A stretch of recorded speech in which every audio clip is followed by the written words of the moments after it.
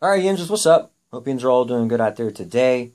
So in front of you, we have the Gerber Glass Breaker and Seatbelt Cutter. This one is in the OD Green, comes in a Coyote Tan, and a Black. Now, I think I paid 10 bucks for it. It's been out quite a few years, and a lot of people have them. It'll strap right on your MOLLE webbing. I keep it on my Maxpedition pouch. Comes right out of a nice little sheath there. There's your seatbelt cutter. As you can see, it'll go right on some rope. Cuts right through it.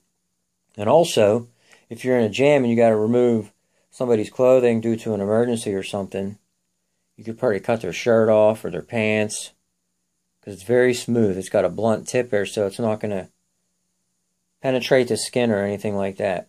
And then you got your glass breaker. A little bit of jimping up top here. So pretty cool. For 10 bucks, that's what I picked it up for. You can't beat it. It's good to have on your bag or especially in your car. That's what I would do. But works good for me. Just thought I'd share it. Maybe you want to pick one up. Alright, Yinzers, I'll talk to you later. Looking for me marbles, and I'm out.